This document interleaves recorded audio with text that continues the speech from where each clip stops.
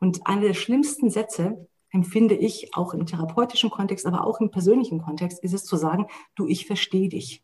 Wenn jemand wirklich verzweifelt ist, ist der Satz Gift. Nein, wir werden es nicht verstehen. Wir sind immer schon auf dem Weg eher zu uns und versuchen uns selbst zu verstehen. Kann das auch eine Einsamkeit bedeuten? Respekt anderen gegenüber ist die Konsequenz zu wissen, ich habe Vorurteile, du hast Vorurteile. Und das, glaube ich, ist vielleicht nicht so ganz bekannt und ist eine notwendige Konsequenz der Maschinerie unseres Gehirns. Einer muss es ja machen. Wie weiter nach der Pandemie? Verantwortung der Wissenschaft für die Zukunft. Ein Podcast der Vereinigung Deutscher Wissenschaftler in Kooperation mit der Zeitstiftung.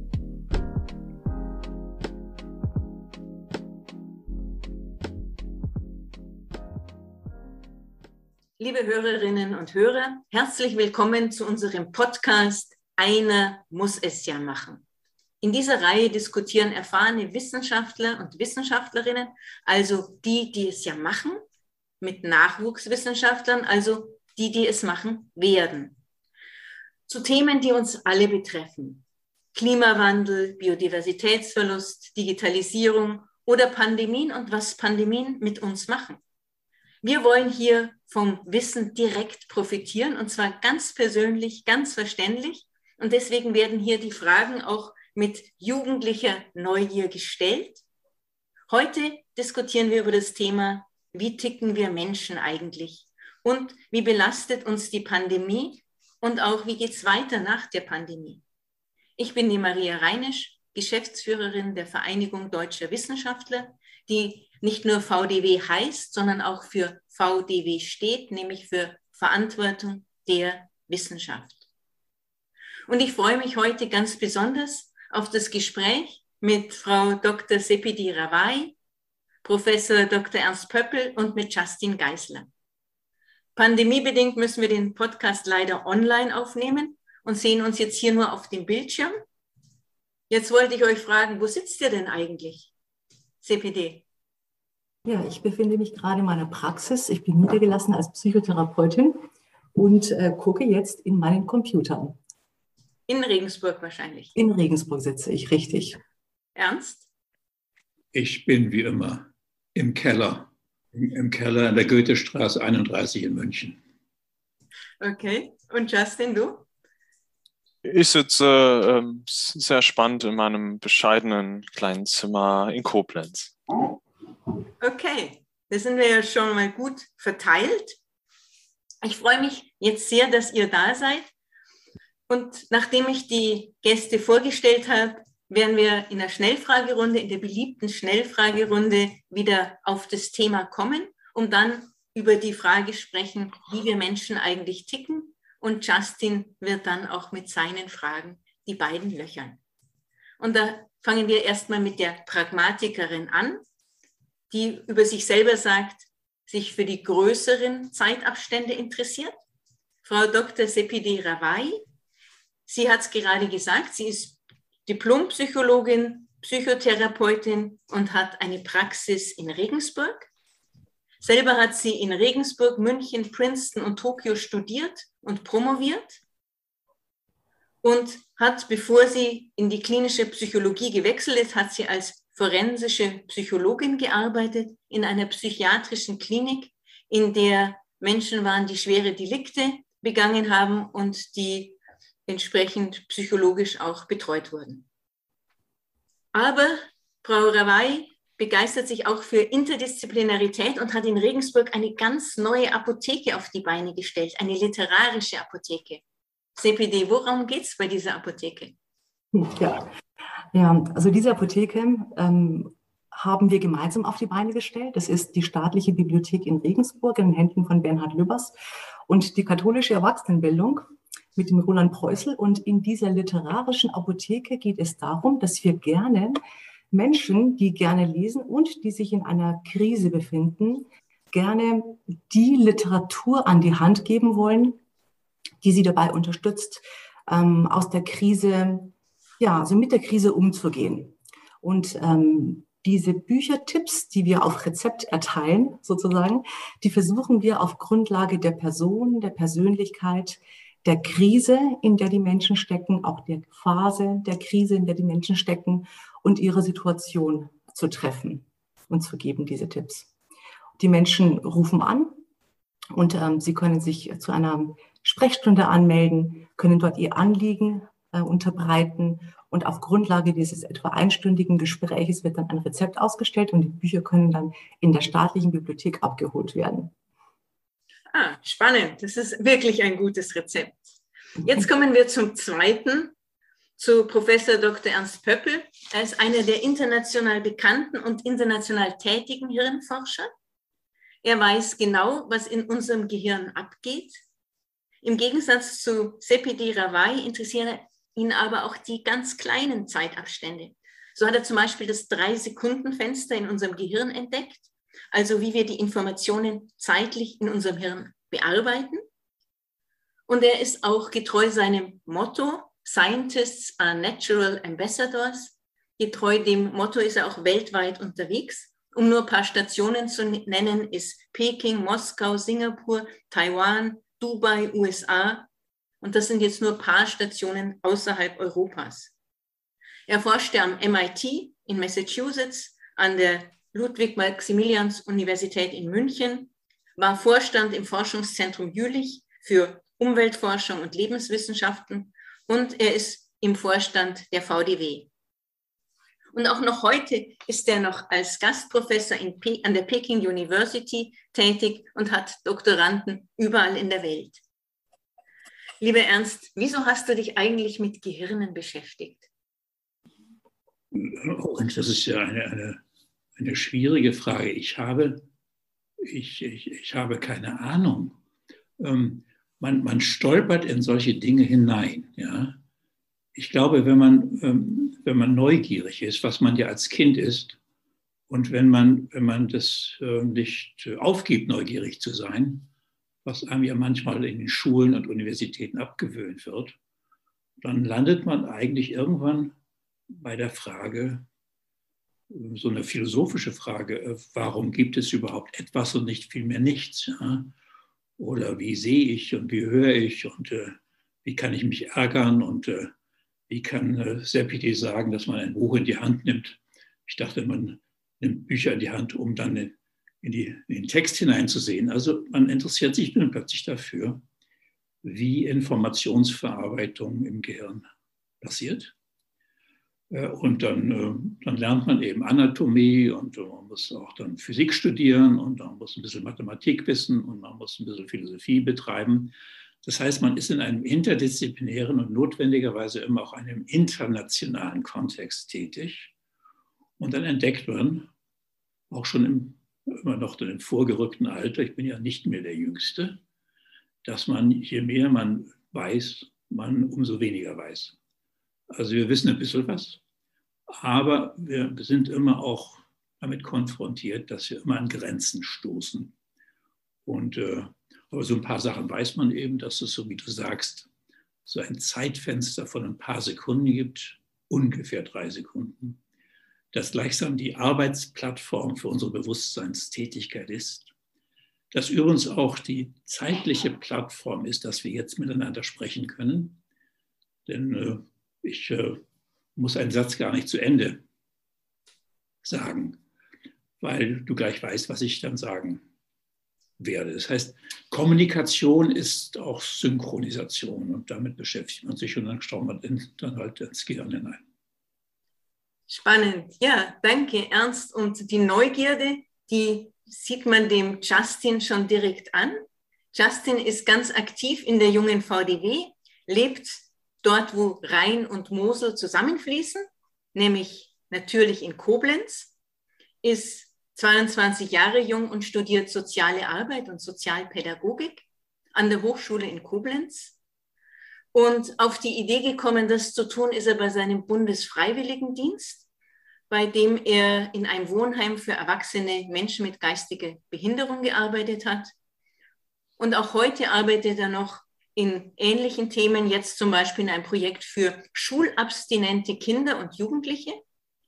Und wenn er das nicht macht, spielt er American Football, fährt Kajak oder seine zwei Katzen vertreiben ihm jegliche Langeweile und halten ihn auch in der Pandemie auf Trab. Und ein Punkt, den ich noch ganz vergessen habe, Justin philosophiert sehr gerne. Lieber Justin, hinter dir sieht man schon ganz viele Philosophen, aber was ist eigentlich dein Lieblingsphilosoph? Wenn Sie mich so direkt fragen, so würde ich den Philosophen benennen, mit dem meine Begeisterung für Philosophie angefangen hat. Der französische Philosoph Michel Foucault.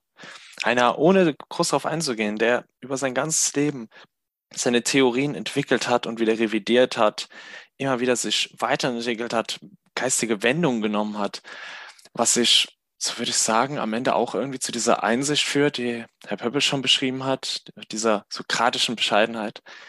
Ja, ich weiß, dass ich irgendwie nichts weiß. Dieser Weiterentwicklung, dieser, dieser Geist, der immer auf Trab ist, der hat mich einfach begeistert und gefesselt. Na, jetzt werden wir den Geist weiter auf Trab bringen in unserem Podcast und starten gleich mit der Schnellfragerunde. Das heißt, es geht nicht darum, dass ich schnell frage, sondern dass ihr schnell antwortet. Und das Wichtige ist, ihr müsst euch für eins entscheiden. Wenn ihr es nicht könnt, weil entweder keins zutrifft oder beides, könnt ihr zweimal bei den vielen Fragen keins oder beides sagen. Okay? Ich habe das nicht verstanden. Wieso zehn Fragen? Ich denke, es ist eine Frage. Man kann immer nur eine Frage beantworten. Ja, ja. Aber nach der einen Frage kommt die zweite, dann kommt die dritte, dann kommt die vierte, die fünfte, die sechste, siebte, achte, neunte, zehnte und dann wechseln wir zum nächsten. Aber ich habe eine Akalkulie, ich kann ungefähr nur bis drei zählen. Das macht nichts, ich habe das im Griff. Ich Gut, bin der Kalkulator. Also wir machen jetzt den zum Test, Punkt oder Komma. Ernst? Ja, bitte, ja. ja, ja. Punkt oder Komma? Du kannst jetzt Punkt sagen oder Komma? Ich soll Punkt sagen oder Komma? Ich sage immer nur Komma. Punkte gibt es nicht. Es gibt also gut. Also Komma, okay. Sepide? Auf jeden Fall Komma. Auch Komma? Ich bin beim Punkt. Okay, sehr gut. Also dann haben wir den, schon den Test bestanden und jetzt kommen die echten Fragen. Also. Verantwortung oder mir doch egal? Verantwortung oder mir doch egal? Ist mir egal. Mir doch egal, okay? Verantwortung. Verantwortung. Winterschlaf oder Glühwein? Ja, Winterschlaf. Ja, Glühwein. Winterschlaf. Wissenschaft oder Intuition? Das ist kein Widerspruch, also Intuition. Intuition, weil es die Wissenschaft beinhaltet. Ja, dann bin ich aber beides. Okay, dann hat der Justin schon ein beides los und ihr habt es einfach inkludiert. Facebook oder Twitter? Also ähm, Twitter klingt schöner. Ich weiß nicht, was das ist, aber es klingt besser. Ja, ich habe auch beides nicht, aber ich würde auch eher zu, zu Twitter, glaube ich, tendieren. Mhm. Ich habe keins davon und brauche auch keins. Du hast keins, dann hast du schon beides und keins aufgebraucht, Justin. Einigeln oder Stacheln ausfahren? Stacheln ausfahren. Stacheln. Einigeln. Okay. Auftanken oder runterkommen? Auftanken. Hm, gerade runterkommen. Ja, auch runterkommen. Gut, jetzt CPD bist du die Erste, ja? Ja. Grautöne oder bunt? Bunt. Bunt. Rot. okay, das gehört bei mir zu bunt. VDW oder junge VDW? Junge VDW. Junge VDW.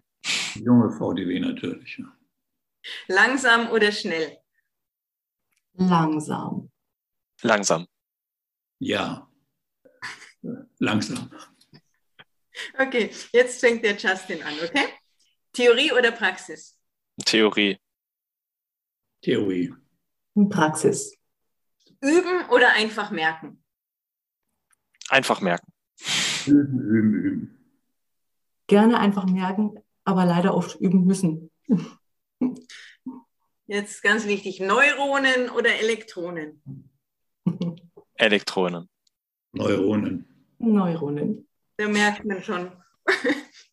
Forscher. Pragmatismus oder Idealismus? Idealismus. Pragmatismus. Gehört zusammen, weder noch. Beides. Gut, dann sind wir auch schon durch Vielen, vielen Dank. Und ich glaube, es waren ganz spannende, unterschiedliche Antworten. Da werden wir aber nachher noch drauf kommen. Was ich gerne von euch wissen würde, ist eigentlich, warum hat uns die Pandemie als Menschen so stark zugesetzt? Ernst und CPD. Ja, warum? Äh, die Pandemie hat uns doch gar nicht stark zugesetzt. Ich glaube, manche hat es sehr stark zugesetzt, aber viele äh, äh, auch gerade mal nicht, nicht. Also ich zum Beispiel für mich, weil ich ja sehr egozentrisch bin, hat es mir die Möglichkeit eröffnet, mal auch in Ruhe gelassen zu werden und nicht permanent irgendwo hinzugehen. Also, aber ich verstehe natürlich, dass es Situationen gibt, in denen es ganz anders ist. Und ähm, wenn ich von, mal von mir selber abstrahiere, was traurig ist und, und sehr schade und ist, dass ich mit meinen Doktoranden, die in der Welt verteilt sind, keinen persönlichen Kontakt haben kann. Weil das ist, äh, das ist ein anderes ein Problem der Einschränkung möglicher Kreativität, das man ja in der Wissenschaft tatsächlich auch vielleicht ja, feiern kann, manchmal feiern sollte. Ja, es gibt so viele Arten, diese Frage zu beantworten, die du gestellt hast, Maria. Ist gar nicht so leicht tatsächlich. Ne? Ich überlege gerade, von wo ich ansetze. Also zum einen ernst ähm, bin ich bei dir. Ich glaube, dass viele Menschen ähm, die Pandemie auch ähm, als eine Quelle der Freude und Ruhe empfinden, empfunden haben. Nicht die Pandemie selber, aber die Umstände, die die Pandemie für manche Menschen schafft sehr viele Menschen erleben natürlich genau das Gegenteil, nämlich Katastrophe und Tod und Zerstörung und Verlust. Aber ja, nichtsdestotrotz, manche Menschen erleben die Pandemie als einen oder die folgende Pandemie als ähm, eine Form von Inspiration und auch Ruhe und, und Möglichkeit, zu sich zu kommen. Ähm, ich finde es immer spannend, weil wenn man guckt, wie Menschen funktionieren, das ist so die eine Art, diese, diese Frage zu beantworten, neben vielen anderen. Also Menschen, glaube ich, sind häufig bemüht darum, ihre Grundbedürfnisse in irgendeiner Art und Weise zu befriedigen. Und diese Grundbedürfnisse, da gibt es unterschiedliche Konzepte. Was ist denn ein Grundbedürfnis? Da kann man jetzt ganz viel diskutieren. Und letztendlich ist es ein Konzept, ähm, zu dem man sich irgendwann entscheidet, was welche gibt es denn. Und diese Grundbedürfnisse werden sozusagen wurden befriedigt ähm, auf eine Art und Weise, die wir gewohnt waren. Also wir haben unsere, unsere Bedürfnis nach Bindung und Zugehörigkeit auf eine gewisse Art und Weise befriedigt in unserem normalen Leben, bevor die Pandemie kam. Unseren Wunsch nach Kontrolle und ähm, ähm, ja Kontrolle und ähm, Übersicht sozusagen ist auch eines der Grundbedürfnisse. Dann das Thema Selbstwert, also was bin ich wert oder die, die, das Grundbedürfnis nach Lust und Freude. Und jetzt kommt eine Pandemie, wirft alles durcheinander und die Befriedigung dieser Bedürfnisse, die, so die Forschung zumindest, die dazu beiträgt, dass wir zufrieden zumindest sind, im Großen und Ganzen zufrieden sind, Auf und Abs natürlich. Also diese Befriedigung dieser Grundbedürfnisse musste dann plötzlich völlig neu organisiert werden. Und das machen Menschen auf unterschiedlichste Art und Weisen. Also es waren viele Kompensationsstrategien sichtbar in der Praxis. Wie schaffe ich es denn, meine Bindung aufrechtzuerhalten? Wie schaffe ich es denn, Kontrolle zu behalten in einer Situation, die komplett aus dem Ruder zu laufen scheint? Wie schaffe ich es, meinen Selbstwert zu erhalten, wenn ich vorher Selbstwert über Kontakte vielleicht gewonnen habe, über, über Situationen, die ich jetzt nicht mehr habe? Und wie finde ich Freude und Lust? an meinem Leben, wenn die Quellen meiner Freude nicht mehr wirklich zugänglich sind. Also ist ein, ein Versuch einer Antwort, aber natürlich nicht erschöpfend. Weil die Zunahme ja der Depressionen bei jungen Menschen ja zumindest signifikant gestiegen ist oder auch das Gewicht, die Zunahme des Gewichts, der Depressionen, alles Mögliche, hat ja doch, glaube ich, sehr stark einen Einfluss auf, die, auf viele Menschen gehabt. Ja, ja. Ja, also in Abhängigkeit ähm, von der Studie, die man die man liest, ähm, sagt man in Deutschland, ähm, sind es bei dem Thema Depression und Angst etwa 30 Prozent Zunahme. Und bei Kindern, glaube ich, ist die Zunahme noch, noch höher. Ist noch größer. Ja, Deutschland hat eine Milliarde Kilo an Gewicht zugenommen. Eine Milliarde Kilo. Mhm. Die, die, in Deutschland oder die weltweite Bevölkerung? In Deutschland. Wir haben 80 Millionen Einwohner und durch, kannst du mal ausrechnen. Und jeder zwei bis drei Kilo haben sie zugenommen. Also eine Milliarde Kilo ist Deutschland schwerer geworden. Das hat die ganze Welt auch ein bisschen die Umdrehung der Erde etwas beeinflusst. Das ist der Global Fat Print. Übrigens, äh, ich weiß nicht, äh, darf ich noch was nachreichen, vielleicht Maria, zu deiner Frage hier? Gerne. Ich glaube, die Pandemie hat äh, äh, leider auch zu einer Verblödung geführt, weil ähm, wir sind ja, ähm, alle Menschen leiden unter einer Krankheit, das ist Monokausalitis, also alles monokausal erklären zu wollen. Und plötzlich wird alles monokausal bezogen auf die Pandemie, auf Covid-19. Ja. Das heißt, äh, man, das ist eine unglaubliche äh, Komplexitätsreduktion, die vorgenommen wird, dass man äh, alles auf diese, diese eine, eine Ursache schiebt. Also Menschen sterben ja an verschiedenen Dingen. Also plötzlich aber wird man nur aufmerksam, wenn jemand an oder mit Covid-19 gestorben ist. Und dieses sozusagen diese Einschränkung, ja, diese Attribution auf nur eine Ursache, ist tatsächlich, ich glaube auch im Rahmen der ganzen Querdenker-Szene zu dem Problem geworden, die Welt sich zu einfach zu machen. Man hat jetzt noch sozusagen eine Ursache, die man dafür ja, benennen kann. Und das ist in der Tat eine wirklich generelle Verblödung, die also ganz also international aufgetreten ist. Die vielleicht ja auch zu diesem Phänomen des Populismus passt, den wir ja auch ja, in komplizierten Situationen sucht man populistische das unterstützt das, ja. Wir sind also, wir machen uns die Welt einfacher und wir können uns jetzt, wir haben immer etwas, was daran schuld ist, was dafür verantwortlich ist. Und das ist irgendwie die Freiheit des Denkens hat sich sozusagen dann verflüchtigt. Aber wollen wir überhaupt die Freiheit des Denkens? Naja, ein paar Leute schon. Ich meine, wir möchten zumindest die Illusion haben, dass ich das äh, ja, Initiative habe, dass ich Dinge tue, dass ich versuche zu verstehen. Also es wird einem, das Leben ist einem sozusagen intellektuell extrem vereinfacht worden, was man ja in der ganzen politischen Diskussion und bei den Talkshows permanent sieht. Es, ist, es geht nur um eines. Und das ist ein gewisser Absurd und ich verwende nochmal das Wort Verblödung, die dadurch sozusagen auf den, mir auf den Weg gebracht wurde. Ja, was häufig in Krisenzeiten zu beobachten ist, weil die Angst häufig ähm, ja dazu führt, dass eben diese Komplexität reduziert wird. Du hast mal gesagt, Ernst, äh, während meiner Promotionszeit bei dir, äh, dass der Mensch eine komplexitätsreduzierende Maschine ist. Und ja, ja. der Eindruck ist der, dass es unter Angst besonders stark ist, dieser, dieser Effekt. Wird extrem stark Komplexität reduziert, um vielleicht auch diese Illusion von Autonomie und Selbstwirksamkeit aufrechtzuerhalten, weil das wiederum die Angst, in der wir stecken, reduzieren kann und uns stabilisieren kann. Das heißt, es kann gut sein, dass diese, ja, diese Reduktion der Komplexität zur Verblödung führt, einerseits und andererseits aber vielleicht auch das Individuum in einem bestimmten Moment zumindest kurzfristig stabilisiert. Das macht das Leben natürlich einfacher, klar. Ja, ja, kurzfristig und individuell zunächst mal. Mittel- und langfristig ist es sehr zerstörerisch und führt auch zur Spaltung der Gesellschaft, denke ich. Ähm, und Zunahme Aggression hängt ja auch damit zusammen. Ja, ja richtig. Ja. immer mehr zu einer Insel. Ja. Mhm, ja. Das heißt, Aggression hat auch viel mit der Reduktion auf einen Grund ja, ja. zu tun? Ja, nur ich habe recht. Ja. Andere gibt es gar nicht mehr. Ja. Okay, spannend. Das ist ja diese Theory of Mind, dass sozusagen wir uns in der also Menschen die Fähigkeit haben, sich in die Lage anderer zu versetzen. Ja was man ja im frühen Kindesalter, was in drei, vier Jahren lernt. Es gibt auch andere, nicht nur mich. Und diese, diese Möglichkeit auch des Empathiebezugs, das ist ja, geht ja dann verloren. Ich meine, ich mache mir die Welt dann leichter, wenn ich halt immer zu Hause sein kann und auch muss, ja. Die anderen gibt es halt nicht mehr so. Das ist schon mal so ein Nebeneffekt, den wir schon irgendwie berücksichtigen müssten. Ja. Das heißt, so leicht kommt man jetzt gar nicht mehr aus der Falle raus? weil wir so gebaut sind? Es wird immer mit uns bleiben. Also, die Pandemie wird ja nie zu Ende gehen. Also. Wenn diese nicht, dann kommt eine andere. Das heißt, wir haben hier in der Tat, glaube ich, ein, ein langfristiges Problem. Das ist, ist wohl wahr. Das in den, und ich glaube, das als Problem erkannt zu haben, ist natürlich dann auch schon die Lösung des Problems in den, ja. Kindergärten, in den Schulen. Was, was Seppi denn macht in, in, in, ihrer Praxis und so. Das ist ja dann unsere Herausforderung. Jemanden ein Problem zu kennen, ist schon deren Lösung. Mhm.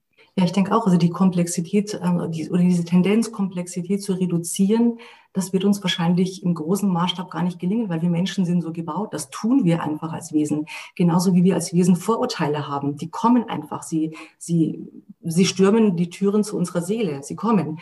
Ähm, und das heißt, erster Schritt wäre, überhaupt erst zu verstehen, wie wir funktionieren. Nämlich ja, wir sind komplexitätsreduzierende Wesen und ja, wir sind vorurteilsbehaftete Wesen. Und viele weitere Aspekte könnte man hinzufügen, also alles verstehen, bescheiden annehmen. Aber allein das Verstehen ermöglicht es mir von einer anderen Perspektive herkommend, diese, diese Tendenzen, die wir haben, ähm, zu kontrollieren und sie nicht ähm, die Macht über uns übernehmen zu lassen. Ich glaube auch, äh, Sepide Maria, ähm, Justin, dass, dass in der Tat vielleicht in der Öffentlichkeit zu wenig darüber bekannt ist, wie wir ticken. Ja? Das ist ja die Frage hier. Also zum Beispiel, ähm, Sepide, was du gerade sagtest, ich meine, wir haben Vorurteile. Vorurteile sind, ein, sind notwendig. Ja? Es ja. gibt keine Menschen ohne Vorurteile. Und wenn jemand sagt, ich habe keinen Vorteil, dann ist genau das ein Vorteil. Und hier spiegelt sich einfach wieder auch das Ökonomieprinzip des Wahrnehmens und Denkens. Ja? Ähm, wir, die Welt ändert sich ja nicht permanent. Ja? Und ich meine, wenn ich das, das Neue ist ja oft, oft gar nicht das Neue. Das heißt, äh, Entscheidungsprozesse müssen schnell fallen. Ja? Du hast auf dieses Drei-Sekunden-Fenster hingewiesen. Ja? In der Tat, äh, innerhalb drei Sekunden werden Entscheidungen getroffen, aber in dem Augenblick der Entscheidung habe ich natürlich nicht alle Parameter parat, die sozusagen die Entscheidung ermöglichen. Das heißt, in der Evolution, die sind ja auch durch die Evolution geformt, ja, und Schnelligkeit ist ein wesentliches Merkmal, durch die Welt zu navigieren. Und, äh, und das heißt, ich muss schnell Entscheidungen treffen äh, und äh, man man kann ja, häufig leidet man ja übrigens auch von der Leuten, unter Leuten oder Menschen, die sich überhaupt gar nicht entscheiden können, ja.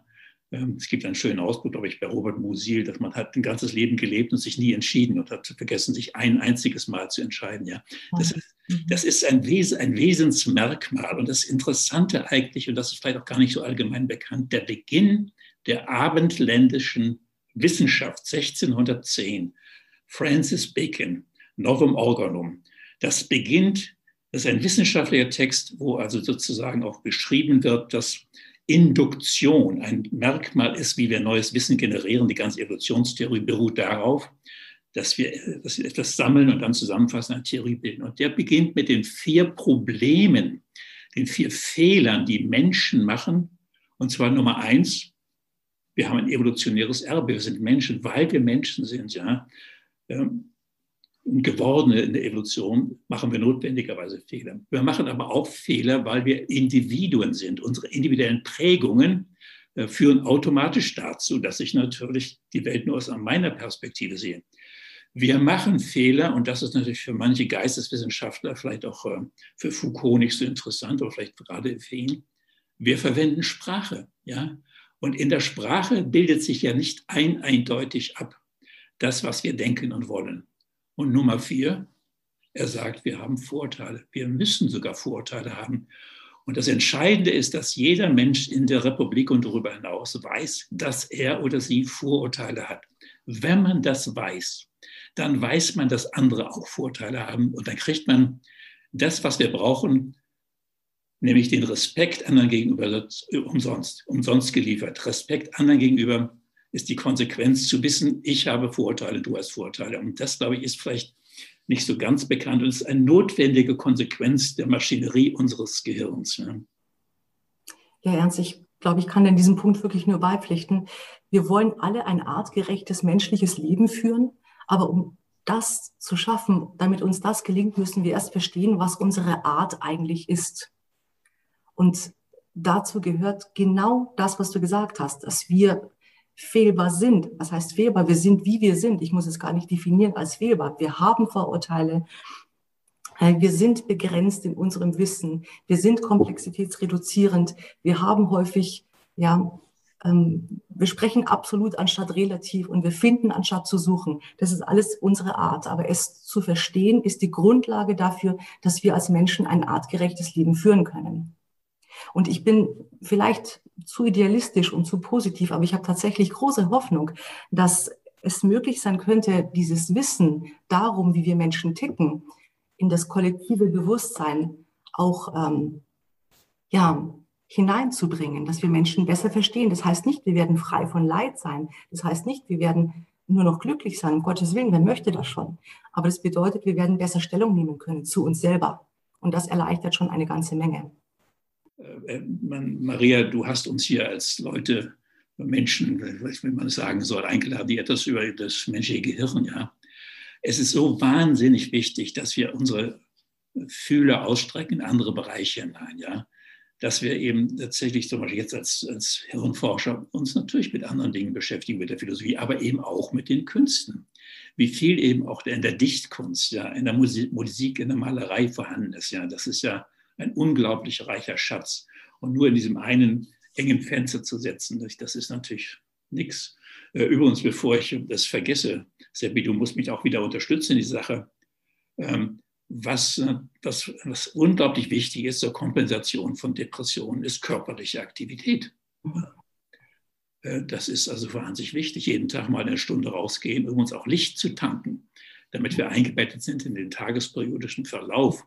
Äh, wir haben diesen Nucleus suprachiasmaticus äh, äh, im Hypothalamus, der Licht einsaugt und die ganzen Organfunktionen ähm, synchronisiert. Und ein Großteil der zunehmenden Depressionen kann eben auch daran liegen, dass Kinder und auch nicht nur Kinder, Erwachsene dauernd zu Hause rumsitzen und nie rausgehen. Das sind ganz einfache physikalische und physiologische Mechanismen, die man berücksichtigen muss also eingebettet sein in den geophysikalischen Zyklus des Tag-Nacht-Wechsels, aber dann eben auch äh, körperlich aktiv zu sein. Ich meine, körperliche Aktivität ist das beste Antidepressivum.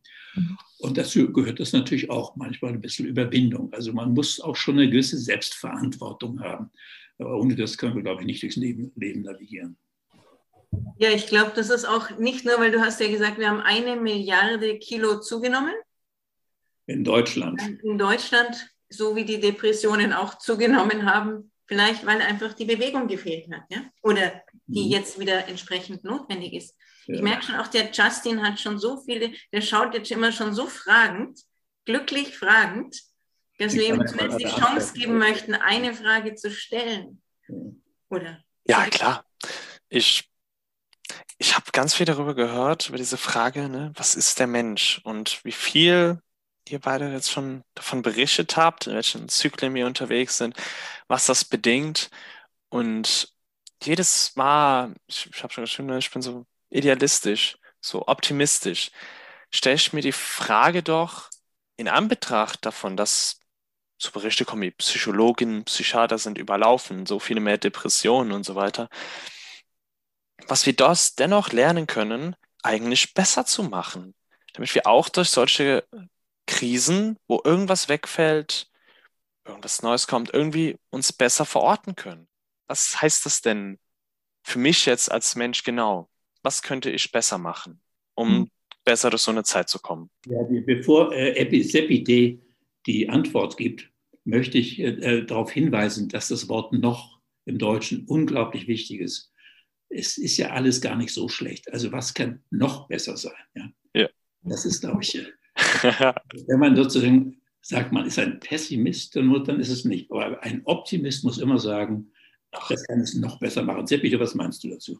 Was meine ich jetzt dazu? Ne? Ja. Ähm, wie verstehe ich deine Frage? Du fragst, wie können wir in dieser Zeit, die uns so begrenzt, die Situation, die uns so einschränkt, trotzdem unsere Würde bewahren und trotzdem ein Leben führen, ähm, auf das wir irgendwann einigermaßen zu, zufrieden zurückblicken können, richtig? Habe ich Ex okay. Exakt. Gut, also da fällt mir, da fällt mir Fra Viktor Frankl ein. Ein sehr, sehr schönes Zitat von ihm. Ähm, und es ist weit mehr als ein Kalenderspruch, äh, weil er sehr viel Wahrheit beinhaltet.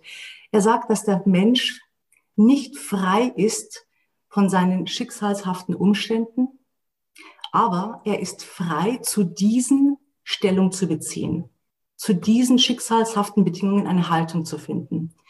Also innerhalb dieser Gegebenheit, die nicht zu verändern ist, zunächst einmal Freiheiten zu finden und sich selber zu beziehen, sich auf sich zu beziehen, auf die, auf die Situation zu beziehen. Und es sieht natürlich von Mensch zu Mensch unterschiedlich aus.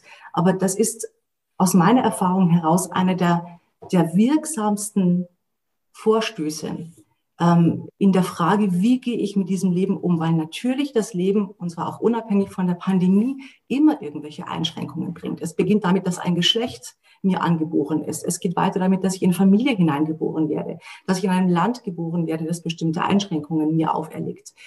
Ähm, das heißt, jedes Leben ist zunächst einmal von Einschränkungen umgeben und begrenzt. Und dann ist es die Frage, wie gelingt es mir, inspiriert, pragmatisch innerhalb dieser Grenzen meine Freiheiten zu suchen und möglichst auch Freude daran zu finden, das zu tun. Und während ich das tue, also während ich innerhalb dieser gegebenen Begrenzungen, von denen ich ausgehe, sie sind unverrückbar, mich bewege, exploriere, inspiriert bin, agiere, auch mal traurig bin oder nichts tue, wenn ich das tue, dann kann es auch sein, dass überraschend mal die eine oder andere Grenze aufgeht und sich eine neue Welt auftut. Ich kann auch dagegen klopfen durchaus. Aber innerhalb dieser Begrenzungen die Freiheit finden, das ist eine der, ja, der mächtigsten Vorstöße, die man machen kann.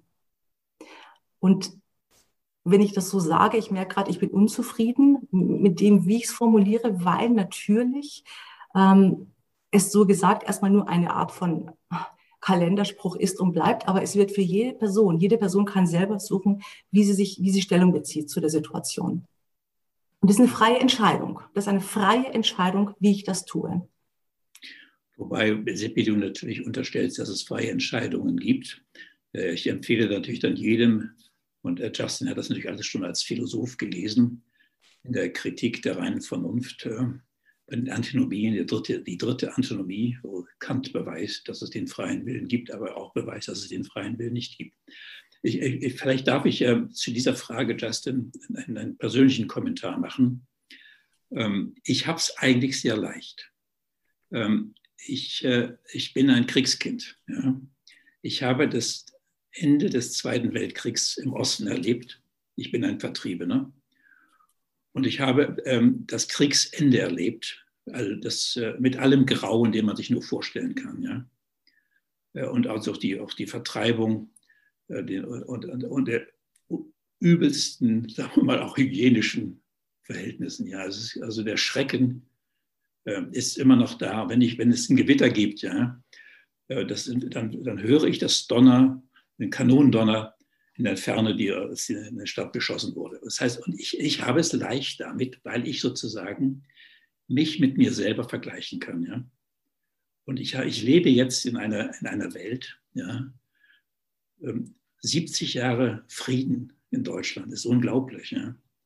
Das heißt, ich habe, äh, und das, und das hat natürlich, haben die jüngeren Generationen ja nicht, ja, diese Vergleichsmöglichkeiten. Aber äh, das bringt mich dann zu der Frage, wie finde ich, wie weiß ich eigentlich selber, wer ich bin? Ja, wie bestätige ich eigentlich äh, meine Identität? Und hier haben wir in der Tat auch mal Studien durchgeführt, dass wir unser episodisches Gedächtnis aufsuchen. Jeder hat seine persönlichen Erinnerungen. Und interessanterweise hat der Mensch die Eigenart, dass die es gute Erinnerungen bleiben, ja. Dass man Bezug nehmen kann auf das Positive, nicht nur, aber auch sehr häufig, ja. Das heißt, ich wandere zurück in meine persönliche Vergangenheit. Und was man festgestellt hat, ist, äh, wenn man diese Bilder der, des episodischen Gedächtnisses der Vergangenheit aufsicht, aufsucht, dann stellt man fest, dass man selber darin vorkommt. Das heißt, ich verdopple mich, ich werde mein eigener Doppelgänger. Das heißt, die personale Identität entsteht dadurch, dass ich mich verdoppeln kann, dass ich mein eigener Doppelgänger sein kann. Und diese Erinnerungen, die ich dann aufrufe, die sind eben nicht nur schrecklich, aber auch selbst wenn sie grauenvoll waren, sind sie es jetzt nicht mehr, ja? sondern ich habe einen ganz anderen Bezug. Es gibt eine Art von Verklärungsmechanismus des menschlichen Gehirns der sozusagen meine personale Identität garantiert. Und so schaffe ich mich selber, bestätige mich selber, indem ich mein eigener Doppelgänger bin.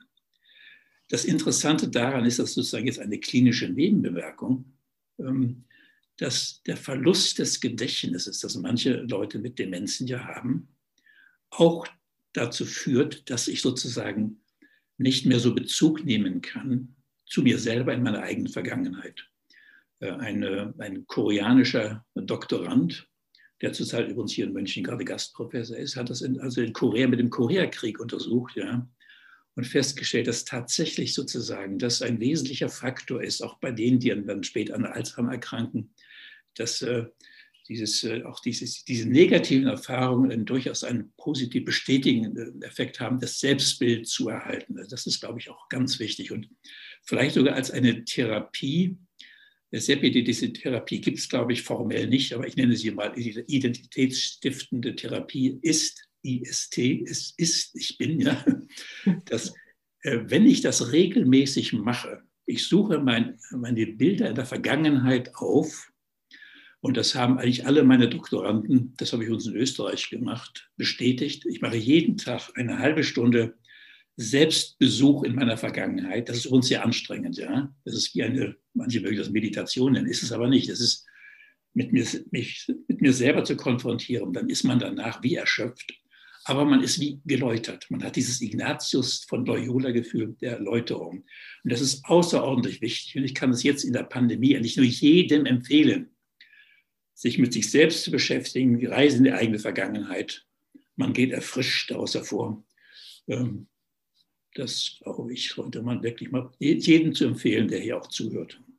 Wie gehst du da konkret vor dabei, ich wenn sag, du das machst? Jetzt setze ich mal hin, eine halbe Stunde, ja, und mhm. du gehst, kannst du das mit offenen, geschlossenen Augen machen und suche Szenen auf, als du zehn Jahre alt warst, ja. Und dann stellst du fest, das ist ein Bild, in dem du selber vorkommst. Ich kann das jetzt in diesem Augenblick tatsächlich auch machen. Ich sehe mich in diesem Augenblick. Ja. Äh, zum Beispiel, als ich in MIT war, am Charles River stehen, ja, spreche dort mit Thomas Kuhn, der dieses Buch geschrieben hat, über das Paradigma, also Scientific Revolutions. Und, äh, und, ich, und ich, ich sehe mich mit ihm mich unterhalten. Ich sehe mich in einer anderen Situation. Ähm, ich sehe mich im, im Auto sitzen, wo eine, eine, eine meiner Töchter fragt, Papi, wenn ich erwachsen bin, möchte ich gebildet sein. Diese Szene ist in mir drin, weil das so nachhaltig ist. Das ist eine unglaubliche Sache. Innerhalb von wenigen Sekunden fragt ein Kind eine Frage, wo der Vater keine Antwort geben kann. Dann habe ich ihr ein Buch geschrieben, das gibt es nur in einem Exemplar, was es bedeutet, gebildet zu sein. Übrigens, wer noch eine Antwort wollt, heutzutage gebildet sein ist man dann, wenn man ein Spezialist oder Spezialistin ist. Dann kriegst du natürlich sofort den Aufschrei. Der Geisteswissenschaftler, ja, ist aber nur eines. Zweitens musst du ein kanonisches Wissen haben, breites Wissen. Dann weißt du automatisch, ah, ich kann ja nicht alles wissen, ja. Und dann kriegst du den Respekt anderen gegenüber. Also das ist diese Dreifaltigkeit des modernen Wissens. Solche Dinge entstehen dann, ja. Und das heißt, du lebst, und, und ich kann zurückgehen tatsächlich im Alter von zweieinhalb Jahren meine ersten Erinnerungen. Ja. Natürlich verblassen die im Laufe der Zeit, aber du erfrischst sozusagen deine eigenen Erinnerungen immer wieder dadurch, dass du sie besuchst. Das heißt, du erhältst sozusagen eine Stabilität mhm. über Jahrzehnte hinweg. Das ist ein sehr, sehr kluger Trick, weil du natürlich auch, indem du immer wieder zurückgehst und einen warmen Blick auf deine Vergangenheit wirfst, sie auch konstruierst ja. und sie ja. dann dadurch, ähm, ja, dadurch zu einem Balsam für dein heutiges Du kannst natürlich aber auch sagen, wie das, glaube ich, Cicero oder gesagt, das ist, du, du schaffst die Illusion deiner eigenen Identität. Ja. ja, ist nicht schlecht. Illusion brauchen wir wirklich, um zufrieden zu sein und ums Leben zu kommen. Ja. ja. Wobei ich dann manchmal Angst hätte, dass ich dann auch mich an Dinge erinnere, an die ich mich gar nicht erinnern möchte. Also dass dann die Geister, die so gut geschlafen haben, wieder wach werden. Ja, da sprichst du, glaube ich, ein, ja, ein klinisches Thema an, das viele Patienten tatsächlich auch mitbringen in die Praxis, nämlich der Blick in die Vergangenheit, der eher Furcht und Schrecken auslöst und sie, ähm, sie verzweifeln lässt.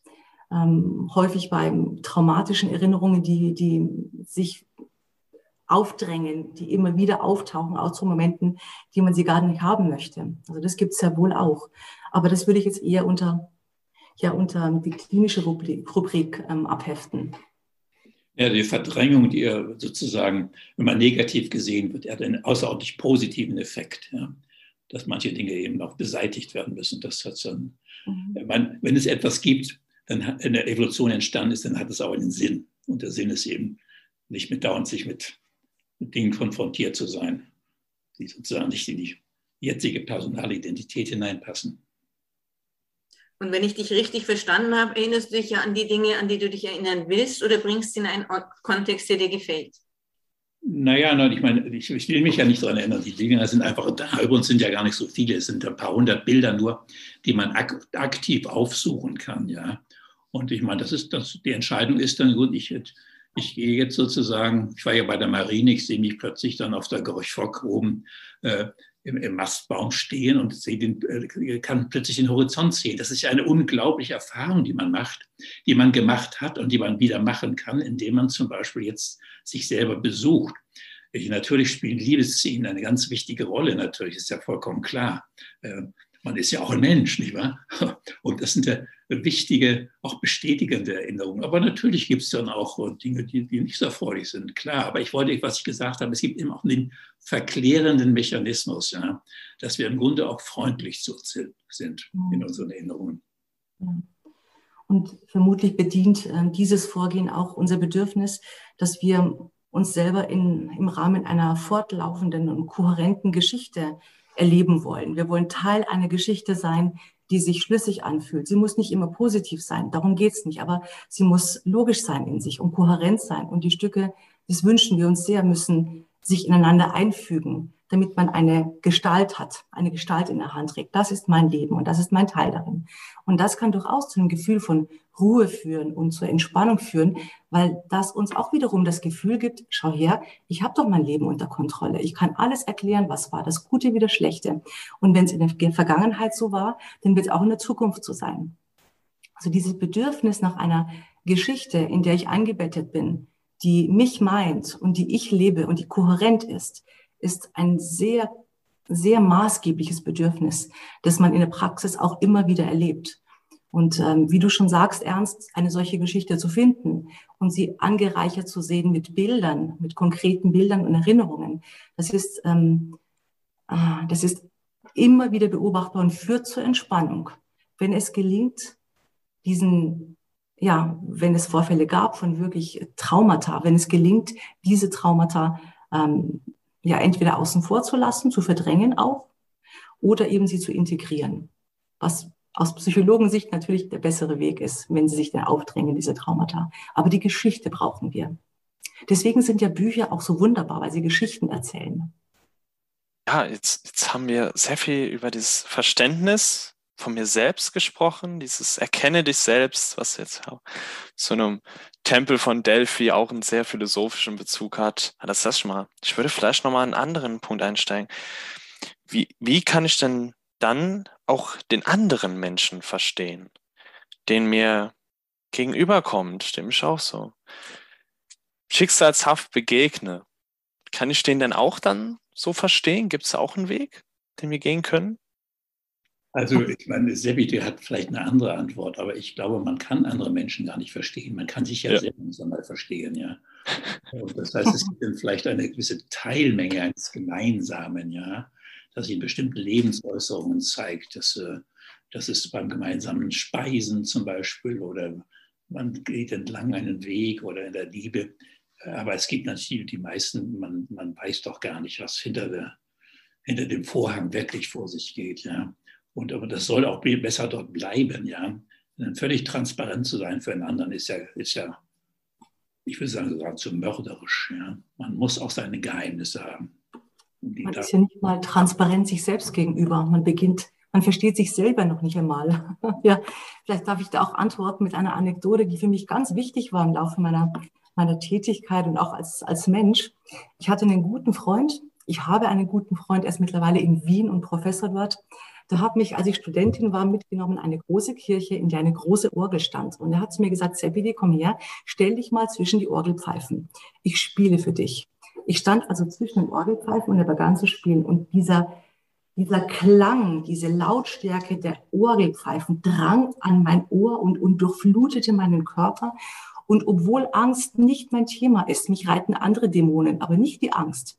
Obwohl Angst nicht mein Thema ist, spürte ich, wie in mir plötzlich eine Panikattacke hochgekrabbelt ist und mich komplett eingelullt hat. Ich hatte eine massive Panikattacke und zwar wirklich aus physiologisch bedingten Gründen, es war einfach extrem laut und dann sagt der Organismus, was ist da los da draußen? Irgendwas stimmt da nicht und dann beginnt man mit Angst zu reagieren. Also ich erlebte zum ersten und letzten Mal in meinem Leben eine Panikattacke und es war sehr beeindruckend, weil ich was verstanden habe. Bevor ich das selber erlebt hatte, hatte ich immer den Eindruck, okay, Menschen kommen mit Panik und Panik ist vielleicht einfach nur die Angst, die ich kenne, nur in einer viel höheren Quantität. Also mehr von meiner Angst, die ich kenne, das müsste Panik sein. Aber so war es nicht. Ich habe gespürt, dass Panik eine völlig andere Qualität hat als, als Angst. Also mehr Angst, Angst, Angst und irgendwann macht es einen Sprung und dann ist es eine, eine Qualität. Und das zu spüren, am eigenen Leib zu erleben, hat mir so deutlich gezeigt, dass ich niemals, nie in der Lage sein werde, einen anderen Menschen wirklich, wirklich zu verstehen.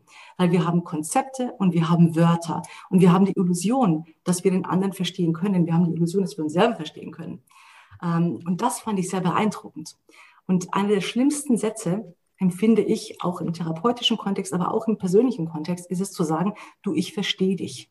Wenn jemand wirklich verzweifelt ist, ist der Satz Gift. Nein, wir werden es nicht verstehen. Wir werden nicht verstehen, wie es sich für eine Mutter anfühlt, ihr Kind verloren zu haben. Niemals verstehen wir das. Weil eine solche Verzweiflung nicht einfach mehr an Traurigkeit ist, das ich auch kenne, sondern etwas ganz Neues ist. Und selbst wenn wir die Erfahrung teilen, wird die Erfahrung anders sein. Aber ich bin bei Ernst, ich bin bei dir Ernst. Ähm, was wir tun können, ist gütig auf den anderen blicken und uns bewusst werden, dass wir alle in diese Existenz hineingeworfen wurden und wir alle gemeinsam versuchen, in irgendeiner Form hier voranzukommen. Und das allein, diese, diese Güte, diese, diese Freundlichkeit mir und anderen gegenüber, das ist eine so starke Kraft, dass es ein wirkliches Verstehen gar nicht mehr braucht. Das reicht. Würde das uns auch jetzt im Kontext der Querdenker oder der Spaltung der Gesellschaft in irgendeiner Form weiterhelfen?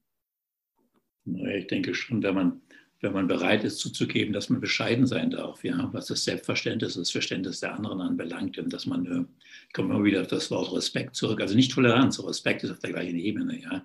Mhm. Also, Toleranz ist immer von oben nach unten, ja, aber dass wir sozusagen das, ähm, und dass wir auf allen Seiten das verstehen. Das Problem ist natürlich aber leider so, äh, das ist, die, äh, ist der Dogmatismus. Und zwar, das ist jetzt äh, in allen Bereichen des irdischen Seins.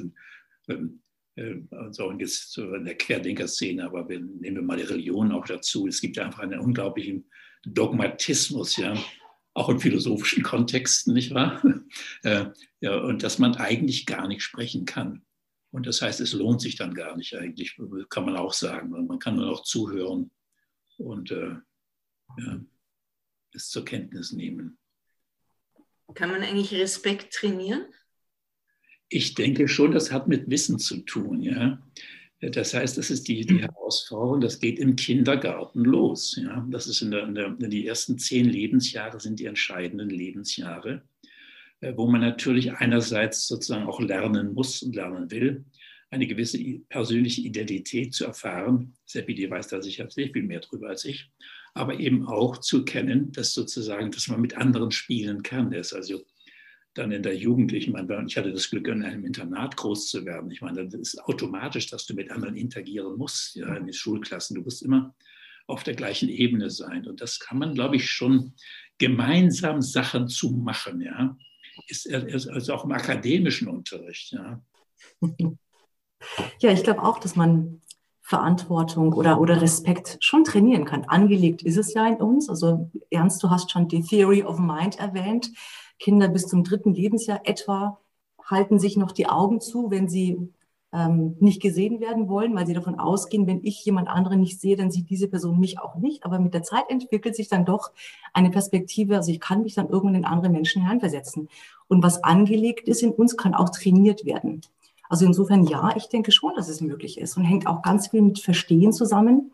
Also was verstehe ich, also was kann ich begreifen über einen anderen Menschen, aber da gehört auch Interesse dazu. Ähm, Habe ich Interesse über den anderen Menschen? Kann ich Interesse, ähm, auch das kann man üben, Interesse finden an, an einen anderen Menschen. Also Interesse haben, mehr über diese Person lernen, die Perspektive einnehmen und sie nachvollziehen, was nicht bedeutet, dass ich diese Perspektive einnehmen muss, für gut heiße. Ähm, das heißt es nicht, aber ich kann eine Person verstehen ähm, und trotzdem stehen bleiben, wo ich auch stehe. Aber das ist auf jeden Fall eine Grundvoraussetzung, um in einer Gesellschaft wie unserer ähm, zu kommunizieren auf eine würdige Art und Weise. Übrigens, was ganz Interessantes ist das Debattieren. Ich weiß nicht, ob ihr das in der Schule auch gelernt habt, mhm. dass man sozusagen unterschiedliche Positionen bekommt. Ja, ich vertrete es in einer Debatte, muss ich die Position mhm. des anderen in der Debatte vertreten. Das ist mhm. unglaublich heilsam. Ja. Äh, das, und das, das hilft schon sehr, dann auch mal die Perspektive eines anderen einzunehmen. Ja. Mhm. Ähm, was sind denn die Argumente? Ich glaube, das, ist, das trägt genau dazu bei, den Klebstoff zwischen den Menschen zu, zu verbessern, noch zu verbessern. Ja. Vielleicht sollte man nur den Begriff noch mal ein bisschen differenzierter betrachten, also die Perspektive des anderen einzunehmen. Das kann man auf verschiedenen Ebenen. Man kann auf der kognitiven Ebene eine Perspektive einnehmen, was bedeutet, ich kann verstehen und nachvollziehen, weswegen eine Person etwas tut. Und dann gibt es noch eine emotionale Perspektivübernahme. Das heißt, ich kann sogar empfinden, warum eine Person eine, eine Haltung einnimmt. Und diese zwei Bereiche scheinen auch getrennt voneinander zu existieren, weil es durchaus Menschen gibt, die vor allem in der Lage sind, eine Perspektive rational zu übernehmen. Die sogenannten Psychopathen, das ist ein, ein Begriff, der aus der Forensik stammt, können das sehr gut. Sie können sehr gut verstehen, wie das Gegenüber funktioniert und sie können sehr gut dieses Wissen auch einsetzen für ihr eigenes Interesse. Ähm, aber die Empathiefähigkeit, also diese emotionale Perspektivübernahme funktioniert dafür weniger. Das heißt, wir brauchen beides. Idealerweise.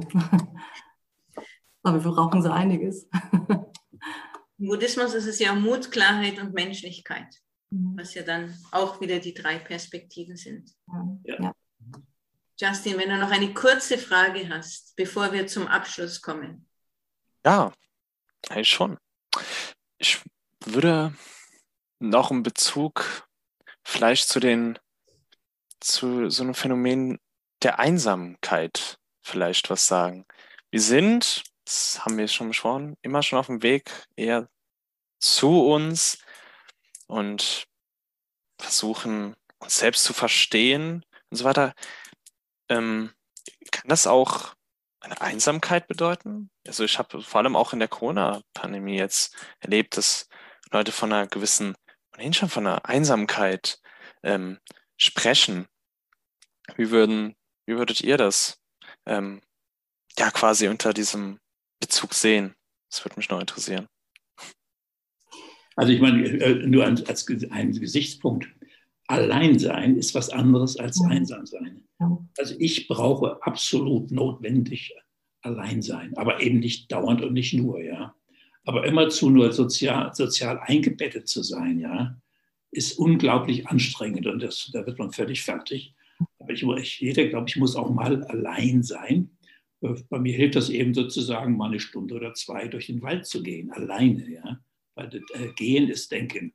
Aber das ist etwas anderes als einsam sein, ja? sozusagen den, den, Kontakt verloren zu haben. Äh, in gewisser Weise, glaube ich, ist einsam, ich weiß nicht, Sepiti, ob du das auch so siehst, ist der Kontakt zu sich selber verloren zu haben. Ja, ja. ja. Nicht sozusagen auch indem ich mich selbst verloren habe. Ja, ja. Es beinhaltet immer auch diesen Kontakt zu sich selber, das ist richtig. Und Einsamkeit in diesem, also nicht im Sinne des Alleinseins, wie du es beschrieben hast, Ernst, sondern wirklich im Sinne des Verlorenseins, nicht eingebettet Seins in einen Sinnzusammenhang, mhm. in einem gesamten Zusammenhang. Ich muss gar nicht mal Menschen um mich herum haben, zu denen ich mich verbunden fühle, um ja, um Einsamkeit zu erleben, es, es reicht ein Sinnzusammenhang oft schon, um dem Gefühl der Einsamkeit zu entgehen. Und das beinhaltet, was du gesagt hast, Ernst, nämlich, dass es auch die, die, die, die Verbindung zu mir selbst beinhaltet, ganz stark. Und es ist schon etwas sehr Schwerwiegendes. Also Menschen, die wirklich in diesem existenziellen Sinne sich einsam fühlen, sind sehr schwer belastet. Und es gibt Studien, die zeigen, dass Einsamkeit das Leben mindestens so sehr verkürzt wie eine Depression oder sogar wie, wie schweres Rauchen, starkes Rauchen. Das ist wirklich etwas ganz Existenzielles. Mir fällt da ähm, eine Aktion ein, die an, in Regensburg in der Fußgängerzone stattgefunden hat. Das war eine junge Frau, die ähm, irgendwann während der Pandemie sich einen Zettel über die Brust gehangen hat und, und es in, die, in, in sich hingestellt hat und auf diesem Zettel stand, ich bin einsam. Und sie hat geguckt, was da passiert. Ganz, ganz viele Menschen haben darauf reagiert. Das war wirklich fast Biologie, was da passiert ist. Sie sind alle auf diesen Menschen zugeströmt und haben mit der Person gesprochen. Und es war so eine, eine, ein Zuspruch da. Also Menschen reagieren auf Einsamkeit, wenn sie das sehen. Die Einsamkeit ist was ganz Bedrohliches für uns. Mhm. Aber vielleicht im Hinblick auf die Krisen, die noch kommen, Klimakrise und andere, was wäre dann jetzt der Tipp an die Politik, damit man mit uns so umgeht, wie wir gedacht und gemacht sind? Eine Idee ist, äh, das ist dieser der Wettstreit äh, des, des ökologischen Fußabdrucks, ja, wenn man wird zwischen verschiedenen Städten, was kann ich eigentlich, Menschen sind immer auch natürlich im Wettstreit, sie wollen auch gerne gewinnen, ja. Was können wir tun, damit ich sozusagen beweisen kann, dass ich in meinem individuellen Verhalten zusammen mit anderen, tausend vielleicht in meinem Ort, in der Stadt, äh, gemeinsam etwas erreichen, das tatsächlich zeigt, dass, äh, dass wir Wirkung entfalten können. Also wir wollen ernst genommen werden und wir wollen nicht durch Gesetze dazu gezwungen werden. Das ist einfach ein Missverständnis auch, ja, wie, wie, wie Menschen sind, wie, wie wir ticken, ja. Es ist, glaubt man, wir haben eine Juridifizierung im Lande, die unerträglich geworden ist. Ja, alles wird gesetzlich geregelt. Und ich, als hätte ich nicht die Fähigkeit, selber mal etwas zu tun, ja, um eine Initiative zu ergreifen. Dies sind, dass ich hoffe nur, dass diese neue Regierung jetzt sozusagen auch darüber vielleicht ein paar Gedanken macht, wie wir eigentlich sind. Das ist ja die VDW-Verantwortung auch, dass wir das mal mitteilen. Ja, die Politik kümmert sich sehr viel um die äußeren Umstände, um die Ordnung in der Welt um uns herum. Und es wäre sehr spannend, eine, ein Projekt zu haben oder ein ernst gemeintes Anliegen zu haben aus Seiten, von Seiten der Politik.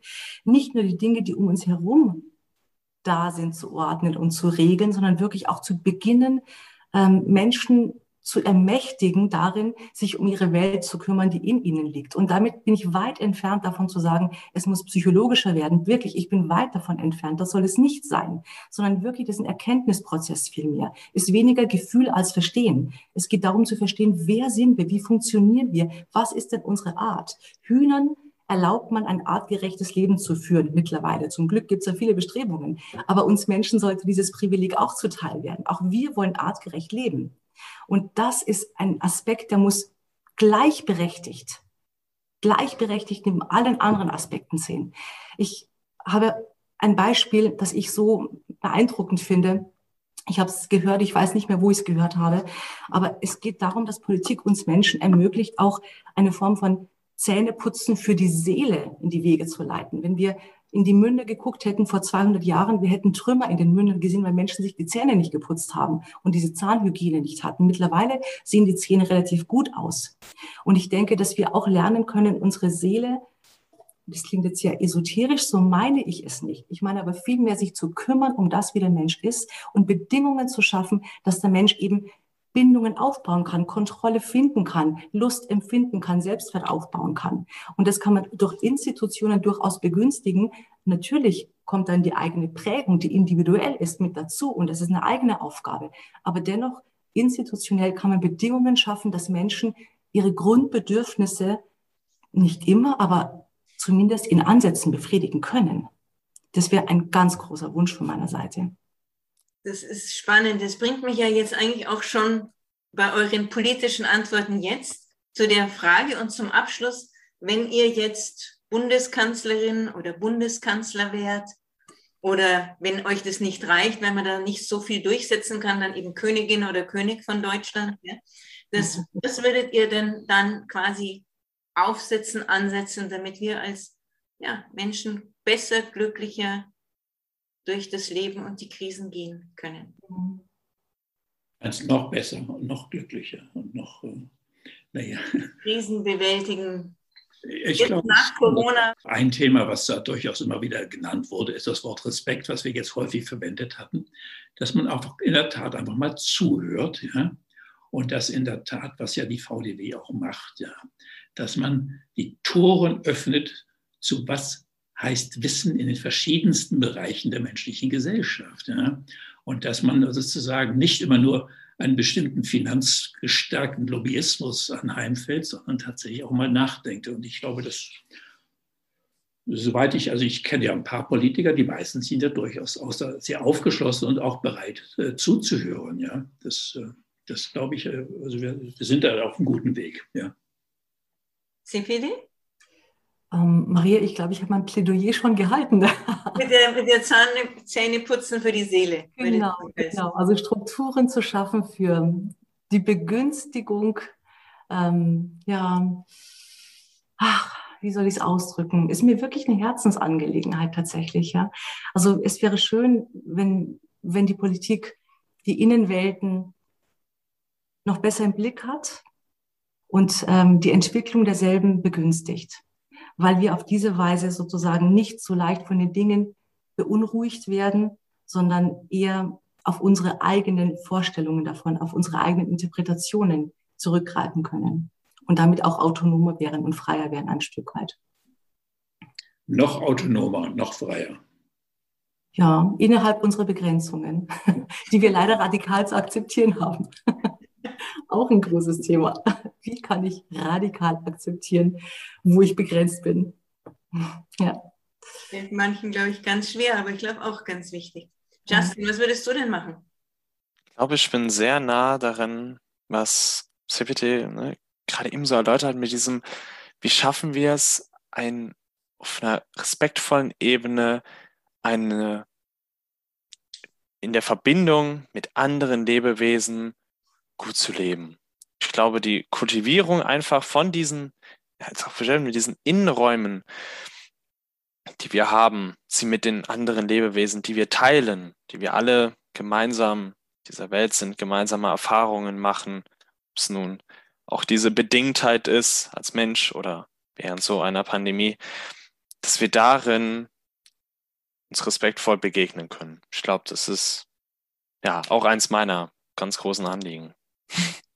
Ja, Justin, dann bleibe ich jetzt auch gleich bei dir. Jetzt aus dem Gespräch vielleicht zwei Dinge, wo du sagst, das habe ich mitgenommen, das habe ich gelernt. Ich finde einen Begriff bei Herrn Pöppel immer wunderbar. Ich hatte ihn oft schon mal hören, Monokausalitis. Diese Erfahrung zu wissen, dass wir doch irgendwie immer doch irgendwie diesen Verdacht haben, irgendwie zu einseitig zu denken. Diese, diese Krankheit, dieser Begriff, der, den behalte ich mir. das zum einen. Und zum, zum anderen ist es natürlich das, was ich gerade eben auch schon erläutert habe. Diesen, ich habe nach dem Weg zu einem Verständnis für den anderen Menschen gefragt. Und auch wenn Abstand vom Begriff des Verständnisses genommen ist, so habe ich, glaube ich, doch im Gespräch einen Weg bekommen über Respekt und über die Bescheidenheit das Wissen, auch eine gewisse Güte meinen Mitmenschen entgegenbringen zu können. Das nehme ich auch mit. Ja, danke, Justin. Und jetzt die andere Seite, Ernst und CPD. welche zwei Tipps hättet ihr für die Zuhörerinnen und Zuhörer und für Justin, quasi wie man besser mit sich selbst, den anderen und der umgeht und die Krisen gut meistert? Das ist immer so schwierig mit den Tipps. Stimmt's ernst? Ja, aber du bist dran, Sepide. das hast du gut gemacht. ja, Justin, was wünsche ich mir? Also du bist, wie alt bist du? 22. 22, ja. Mhm.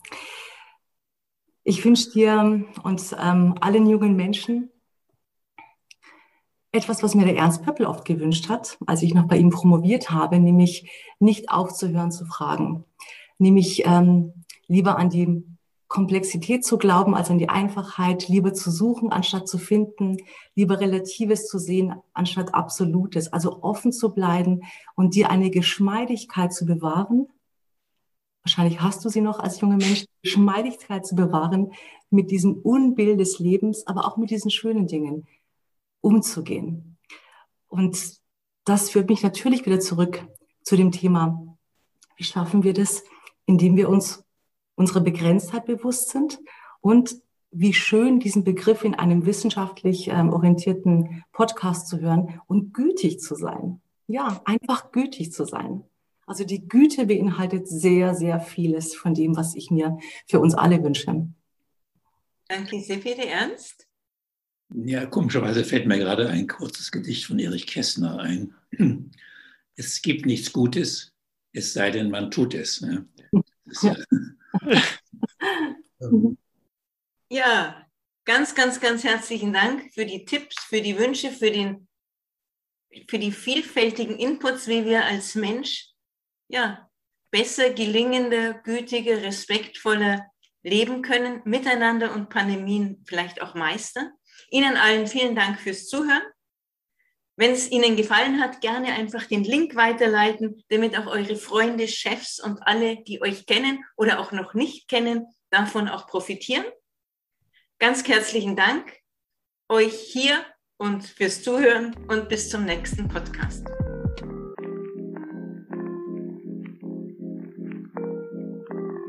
Du machst dir Gedanken zu den großen Fragen unserer Zeit und würdest gerne mehr erfahren über die Vereinigung Deutscher Wissenschaftler? Dann schau bei uns vorbei unter www.vdw-ev.de. Hier findest du alle wichtigen Informationen über uns, unsere Projekte und natürlich zur jungen VDW. Das war Einer muss es ja machen.